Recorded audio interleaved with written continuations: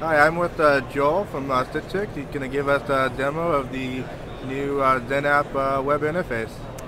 All right, this is the uh, new web interface that'll come out with the 5.0 release. Um, as you can see over here, we have a uh, brand new look and feel. Um, our main feature of this release was usability, um, functionality. You see it's much stripped down, much, uh, much more sleek, more well designed. One of the main things you can see on this front page is we now have a low graphics mode for small form factor PDAs um, that can be automatically detected and redirected based on your screen size. Logging in.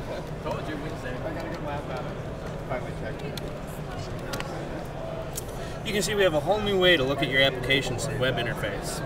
Um, on this left side, we have a bunch of different views icons, details, lists, trees, groups. My favorite is the tree, tree view. As you can see, it's kind of got that Web 2.0 look and feel, that kind of quick refresh without a whole page load. You can now know what folder you're in without having to go back or get lost.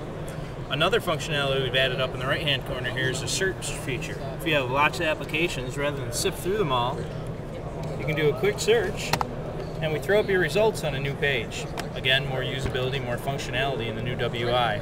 Some neat tricks you can do with the uh, search functionality is add metadata to your published applications. For example, if I was going to publish SAP, I would put metadata such as expense reports. Then when a user searches for expense reports, it's going to pull up SAP. Um, all your 4.6 function, functionality is still here, your preferences, your settings, we just made them look nicer, look better. Um, so again, we did a bunch of usability studies, a bunch of site surveys to find out where the pain points were in WI. Um, so as you can see, our, our main feature was usability. All right, well, thank you, Joe. You're welcome.